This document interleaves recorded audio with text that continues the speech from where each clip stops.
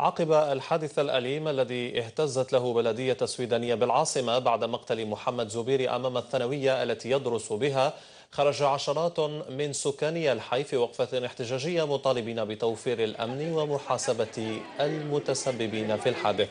المزيد من التفاصيل في تقرير سيد أحمد هديبل.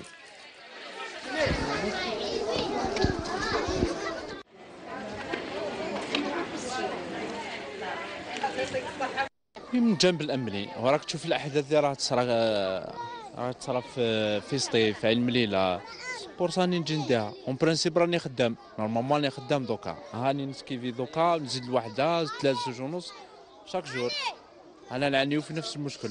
نجيب مخاف هاني خايفة يا وليدي. ما نكذبش عليه. شوف نجيبهم وندي ندخلهم حتى ندخلهم ونروح ونزيد نولي. أمهم وبويهم يخدموا. وأنا راني متوليتهم. أنا من نهار اللي سمعت بكري كلامان من دوك من نهار اللي سمعت بلي راهم يقتلوا والاخر وليت نجي ديما راني نسكن هنا برك من باتيمون. نهبط الدروج برك. بصح ما عندهاش الأمان. يقدر يدخل كاش واحد براني ولا يقدر يفوت كاش واحد وواحد ما شافه يقول لك العسس أنا ما على باليش شكون.